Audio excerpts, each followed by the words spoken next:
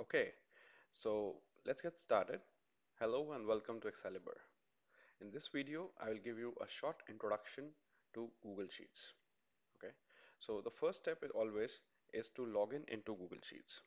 What is the procedure to do that? You can open your browser and in Google, you can search for Google Sheets. Okay, and then you get a Google Sheets, uh, you can either click on this link or Google Sheets sign in directly.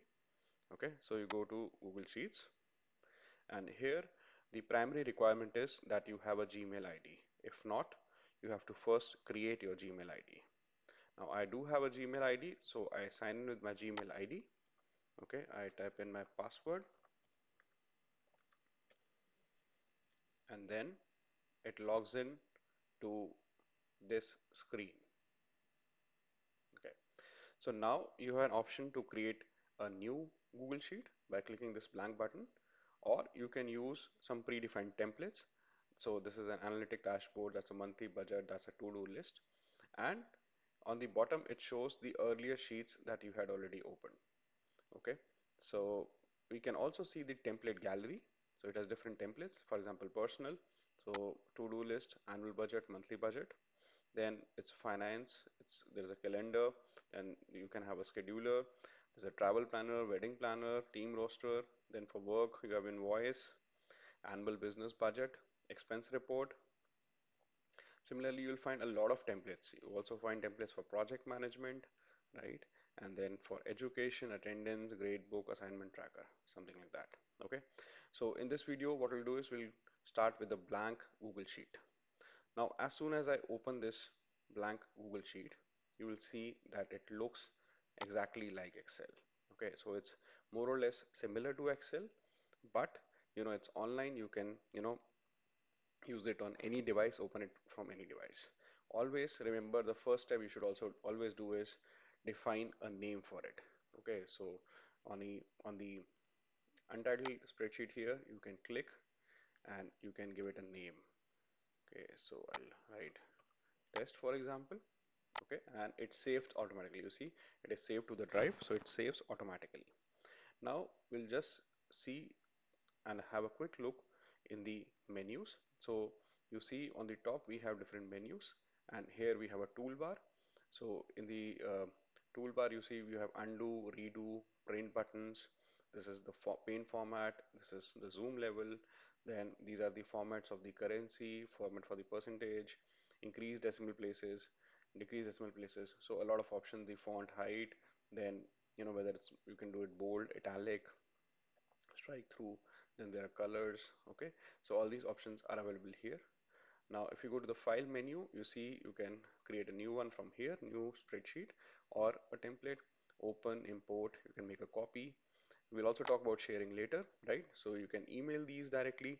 You can download them okay in the form of Microsoft Excel as well. So you can use them later as an offline Excel sheet.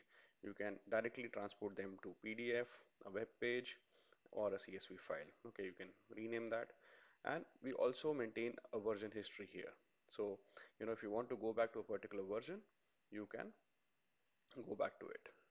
In the edit menu we have uh, the default options cut copy paste undo redo right? In view you can you know see what do you want to see on the toolbars.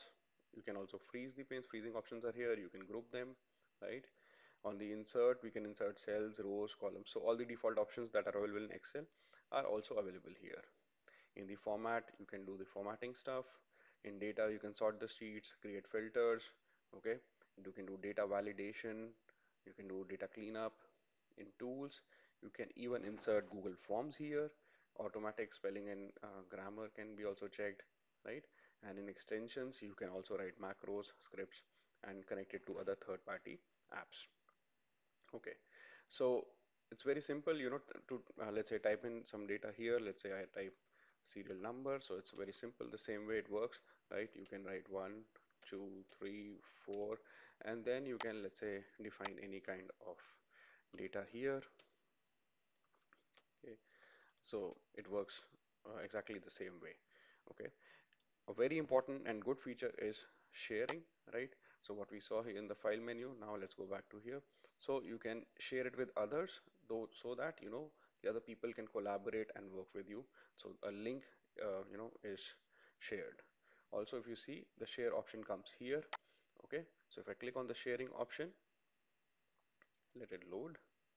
Now I can add people. So basically here I have to type the email of the person with whom I want to share the file. And also I can also copy a link.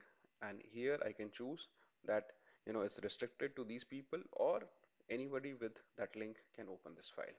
Okay? So that is something which is also new here in Google Sheets.